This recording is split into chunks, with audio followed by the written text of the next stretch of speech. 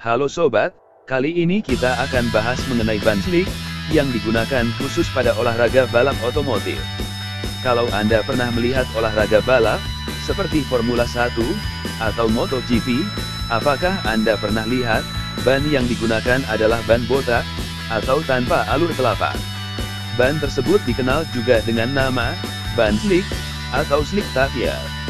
Ban racing slick, atau juga dikenal sebagai ban licin, adalah jenis ban yang memiliki tapak halus, atau rata, yang kebanyakan digunakan dalam balap mobil, seperti Formula 1 dan NASCAR, ataupun balap motor, seperti MotoGP.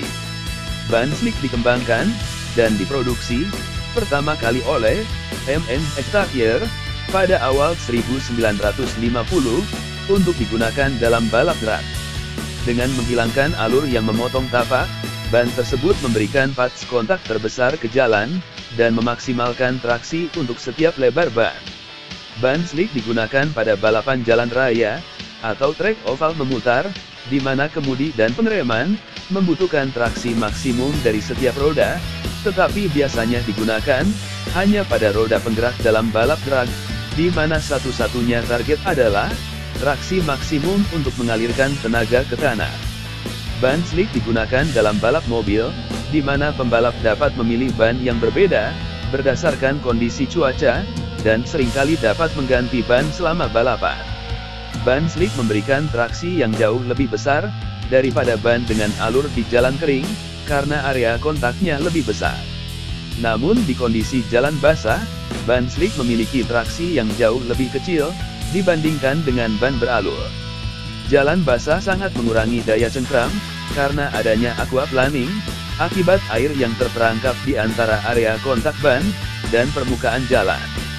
Ban beralur dirancang untuk menghilangkan air, dari bidang kontak melalui alur, sehingga dapat mempertahankan traksi dalam kondisi basah. Itulah mengapa, ban slick tidak cocok digunakan pada jalan raya biasa, yang harus dapat beroperasi di segala kondisi cuaca, baik kering ataupun basah. Karena tidak ada pola tapak, ban slick tidak banyak berubah bentuk, saat dibebani.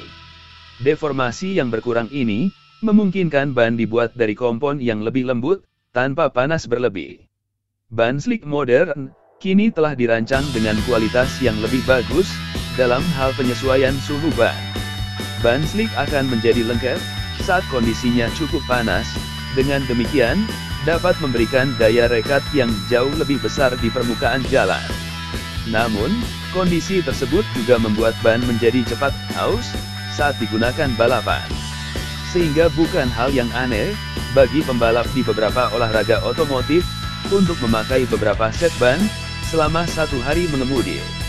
Di olahraga balap Formula 1, ban slick diperkenalkan oleh Firestone, di Grand Prix Spanyol, pada tahun 1971. Namun, ban slick pernah dilarang digunakan, dari musim balapan 1998 hingga 2008.